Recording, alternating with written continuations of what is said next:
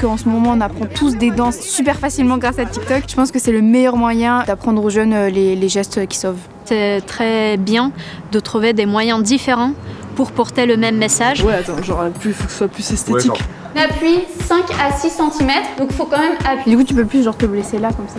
assez fort, bien le talon de la main sur la poitrine.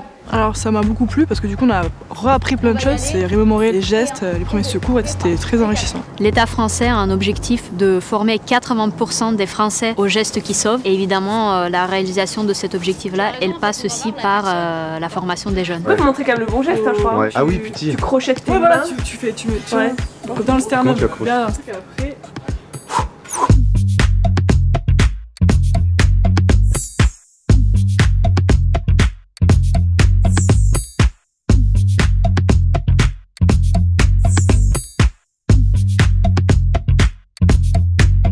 Quand j'étais au collège, j'ai juste fait la formation de base.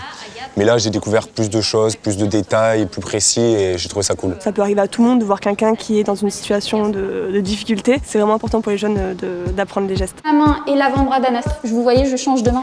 que. Euh, si jamais un membre de votre famille que vous aimez de tout votre cœur euh, tombe ou, euh, ou se met dans une situation grave, euh, est-ce que vous saurez réagir?